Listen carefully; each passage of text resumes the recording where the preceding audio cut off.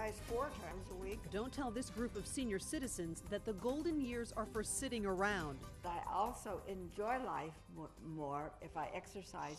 The residents of Kensington Park Retirement Home know they'll stay healthier and more functional if they have an ongoing fitness routine. Getting in and out of a car, for example, getting in and out of a chair, reaching for a jug of milk. There you go. Come on, dance it. Personal trainer Laurent Amzallag shared his four major fitness tips to keep the aging population living well. The first element is cardio, and we did a dance.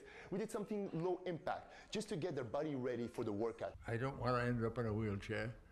I, I want to be able to walk on my legs as long as I can. Show me some waltz moves.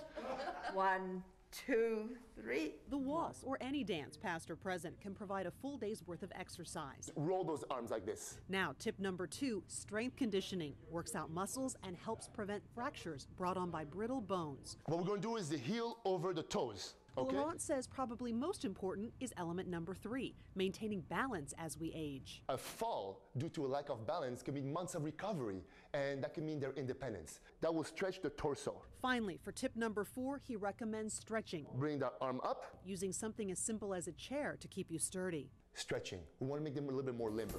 And then there's the fringe benefit of group workouts, social interaction, which can help folks stay mentally sharp and even keep depression at bay. It's good mentally, let, let me put it that way. It's, uh, and everybody is trying